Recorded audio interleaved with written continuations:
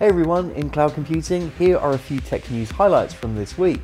I'm Brad Nelson of Nelson Hilliard, cloud computing recruitment specialist, placing great people in cloud, IoT, fintech, and AI. I really appreciate all your support on Twitter, Instagram, and Facebook. It means so much to me and the Nelson Hilliard team. And make sure you remember to click the notification bell when you subscribe to our channel so you don't miss out on all the latest shows. If you like cloud tech blogs on cybersecurity, blockchain, and all cloud tech topics, be sure to check out and subscribe to our latest blogs. Below there is a link. And watch out for the new weekly cloud computing shows with David Linthicum, who is the world's number one cloud industry expert and internationally recognized thought leader. And if you don't want to watch David and I talking on the shows, which I find it hard to believe, all our shows are on Stitcher and iTunes as podcasts. I've also included a link below. Remember to connect and reach out to me and my team. Below in the description box are the social media links for LinkedIn, Twitter, Instagram, and Facebook.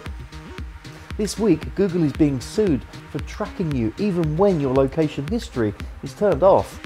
Google now faces a potential class action lawsuit over the revelation that it continues to store users' location data even if they turn off the location history.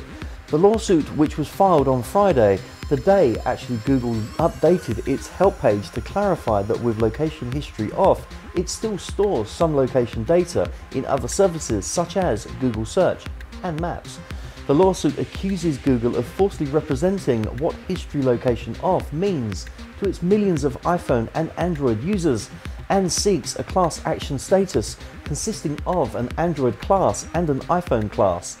Google expressly represented to its users of its operating system and apps that the activation of certain settings will prevent the tracking of users' geolocations.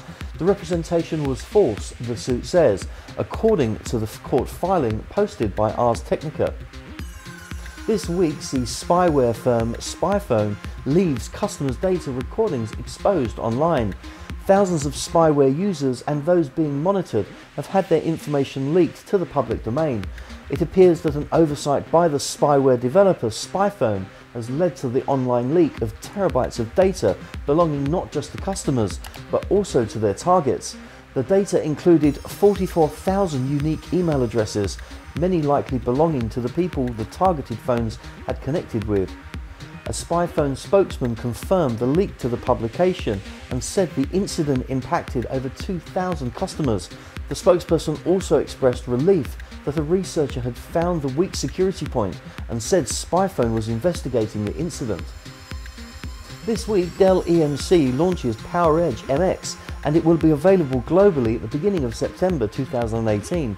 Touted by the company as being designed for software-defined data center, Dell EMC said the PowerEdge MX is capable of supporting a combination of virtualization software-defined storage, software-defined networking, artificial intelligence, and big data projects. President and General Manager of Dell EMC Server and Infrastructure Systems, Ashley Gorakhpurwalla said, and I hope I said that correctly Ashley, while emerging technologies such as artificial intelligence, IoT and software-defined storage and networking offer competitive benefits, their workloads can be difficult to predict and pose new challenges for IT departments. PowerEdge MX enables a modular approach to flexibility build and combined compute, storage and networking so organizations can transform their IT in a way that optimizes resources and offers investment protection for future generations of technological advances. This week sees artificial intelligence system that can identify cancer tumours better than humans.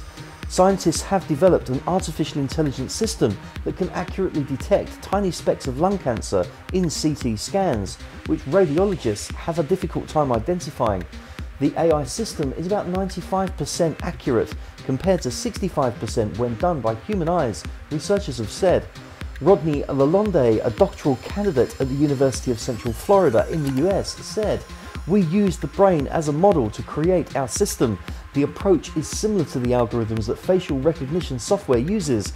It scans thousands of faces looking for a particular pattern to find its match. The group fed more than 1,000 CT scans into the software they developed to help the computer learn to look for the tumours. They had to teach the computer different things to help it learn properly. The system was taught to ignore other tissues, nerves, and other masses it encountered in the CT scans and analyse lung tissues. I'm Brad Nelson, and thanks for watching this week's Cloud Tech News. Get in touch if your company has a news story that you'd like to feature on the show. You can email us at media at nelsonhilliard.com. And remember to like, subscribe, comment, and share these videos with your friends and with your colleagues. And you can also connect with me on LinkedIn, find us on Facebook, Twitter, and Instagram. And you can also check out the latest shows with David Linthicum and the podcast link in the description box below. Until next week, be good, be safe, and keep our clouds secure.